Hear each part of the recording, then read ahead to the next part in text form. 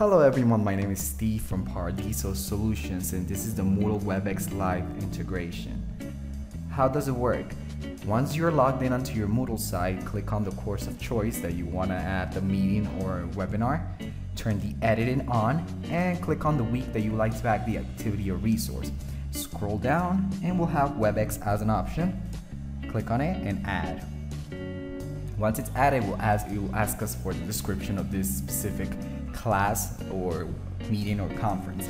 We'll add some, a quick description, make sure we have the correct date, and the time that we would like to host this meeting. You can span all as well to be more specific on the duration of the meeting, which will be done in minutes, 60 minutes per hour. And if it's recurring event, you can actually set uh, the time frame. So also for a recurring event here, whether it's weekly or bi-weekly, you can set that up already to be added to your Moodle calendar. Once the meeting has been created, it will show us the meeting block here that we already have a resource and activity under that week for WebEx. And it will also show us the online class with WebEx Meeting Center here. And this block usually show us the next five classes or upcoming classes for that.